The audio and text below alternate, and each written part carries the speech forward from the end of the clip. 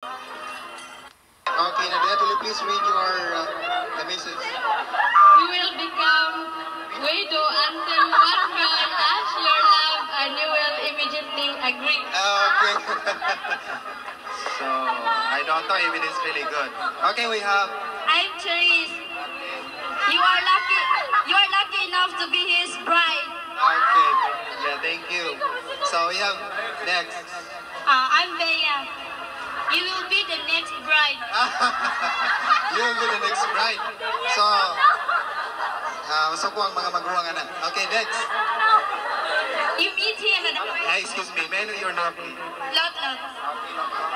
You meet him at the party and he asks you for a date and then that's the beginning. Uh-huh. So that's the beginning of uh, courting. I'm Delia.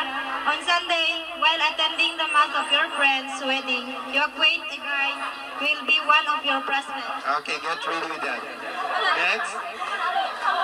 I am Hilda. Okay.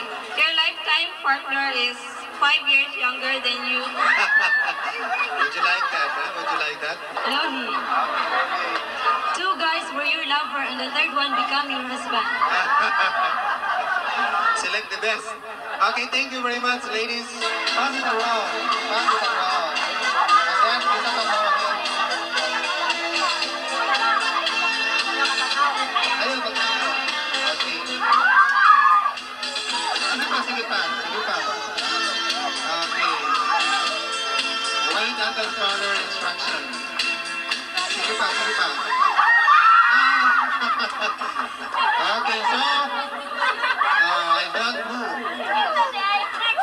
Michael, sige. So, pa.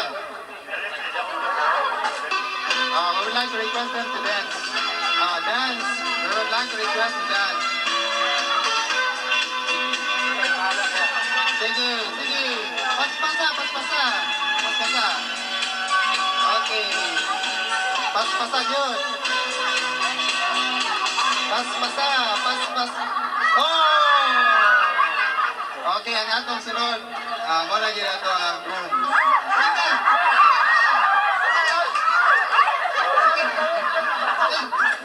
Ayun lang, ayun.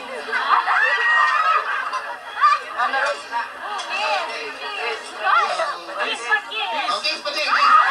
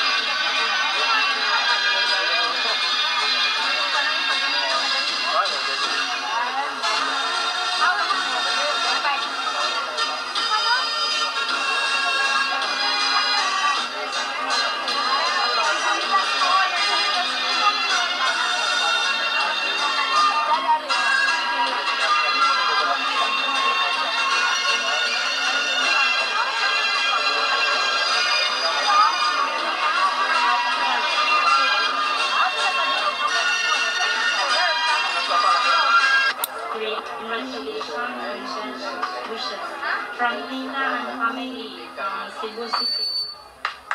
Uh, all, for uh, he gave me this, gave us uh, until this day that we were able to at least celebrate or uh, at least finally nagkaiusan na yun yung Edgar. And then secondly, I would like to thank my par- our parents to Mama Anita and Papa Nunoy and for Edgar, for Tatay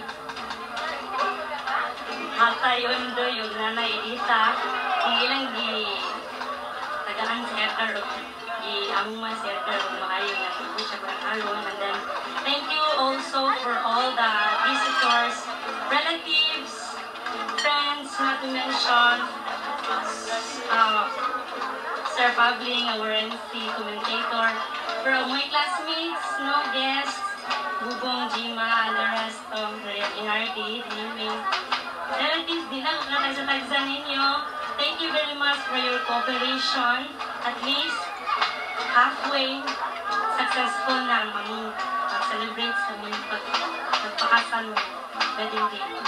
And then we hope and pray that those of you who are here and not here, mga kanang wala diri, ang butabang po sila o pray, aming Edgar nga bakit nagkadiusap na magpadayon ang aming pag, aming loyalty to each other as, married couples. Thank you so much.